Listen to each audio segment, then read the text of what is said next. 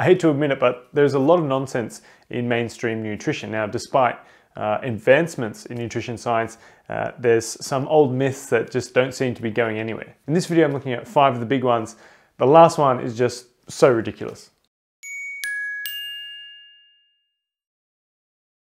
Myth number one, egg yolks should be avoided because they are high in cholesterol, which drives heart disease.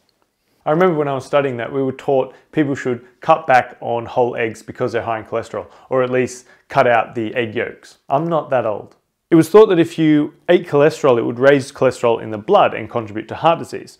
Well, that was wrong. Uh, the liver actually produces large amounts of cholesterol each day. When we eat more eggs, the liver just produces less cholesterol instead. So it basically evens out. It appears our response to whole egg consumption depends on the individual. Uh, in the vast majority of people, it has no effect on total or LDL cholesterol. The exception is some who are genetically susceptible, but even then, it is debatable if the cholesterol increase actually influences heart disease risk.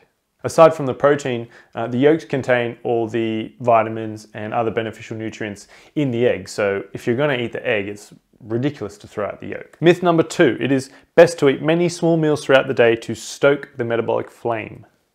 It's often said that people should eat many small meals throughout the day to keep their metabolism high. Eating frequently may have benefits for some people, like preventing excessive hunger, but it is incorrect that this affects the amount of calories we burn.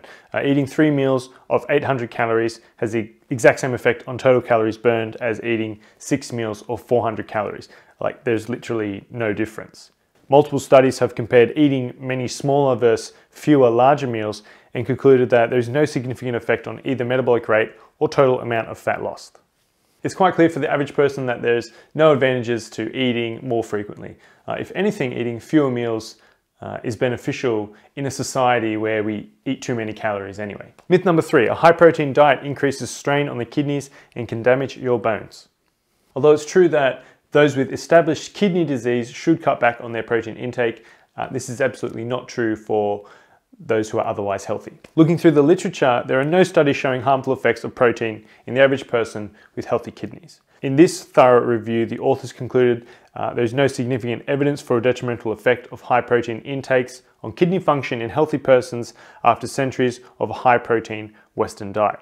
Um, even bodybuilders who tend to eat very large amounts of protein, both from food and supplements, have healthy kidneys.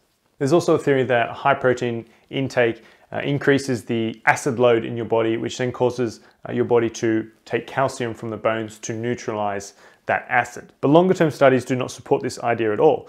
Now, a review from 2011 concluded there is no evidence that increased protein harms the bones. If anything, the evidence points to a higher protein intake improving bone health, not the other way around. The same was found in a more recent review with higher protein intake linked to better bone health. So you can see that both these arguments against protein uh, are just not evidence-based. Myth number four, everyone should restrict salt to lower blood pressure and reduce heart attacks and strokes.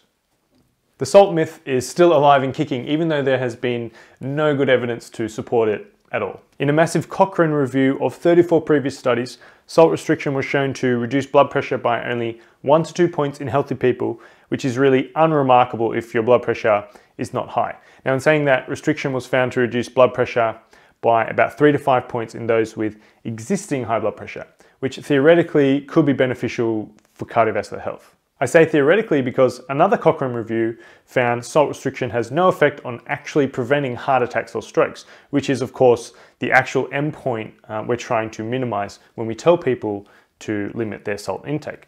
So it may lower blood pressure ever so slightly, but it has no effect on cardiovascular death. For otherwise healthy people, sodium intake does not increase your blood pressure, and if it does, it's uh, very modest to the point where it makes no difference to your health. If you have existing high blood pressure, on the other hand, it probably is beneficial to reduce your sodium intake um, just in case, but know that it won't have anywhere near the effect that uh, losing uh, excess belly fat would or reducing um, external stresses in your life. Myth number five, losing weight is all about willpower and eating less and exercising more. Weight loss and gain is often assumed to be about willpower and calories in versus calories out. Uh, that is so oversimplified and untrue. The human body is a highly complex biological system with many hormones and brain centers that regulate when, what, and how much we eat. Now, it's well known that genetics, hormones, and various external factors have a huge impact on body weight. Although it's still the individual's responsibility to do something about their weight, blaming obesity on some sort of moral failure, um, it's unhelpful and inaccurate. So if we look at calories in versus calories out, uh, the calories in part of the equation is, is pretty straightforward.